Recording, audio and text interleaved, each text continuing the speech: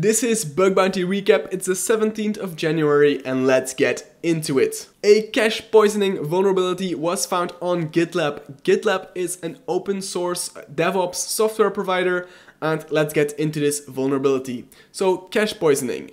A web server hosts a file that is accessible and we can get that file. However, it also accepts a header, the XHTTP method override header. Setting this header to head, the server will just respond to headers and an empty response to us. And that's cool. However, there is a cache in between there. And this cache does not recognize this XHTTP method override header and it sees these two requests as exactly the same. Therefore, we can poison this cache into believing that a request to this resource should result in an empty response. So now any user that wants to access that file will get an empty response from the cache. Thank you, Justin, for this finding.